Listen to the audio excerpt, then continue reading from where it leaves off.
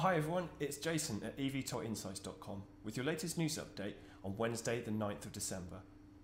Volocopter has committed to launch its VoloCity air taxi service in Singapore within the next three years, putting the city state in pole position to be one of the first regions in Asia to begin urban air mobility operations.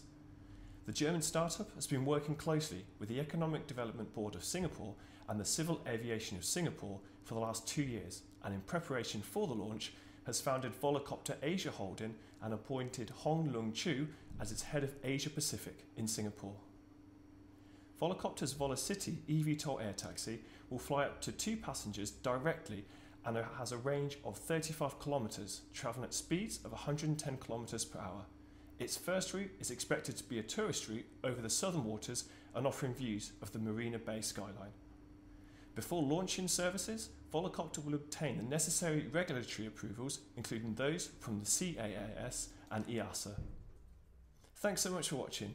To read the full story, which has more details about this announcement, head to evtolinsights.com.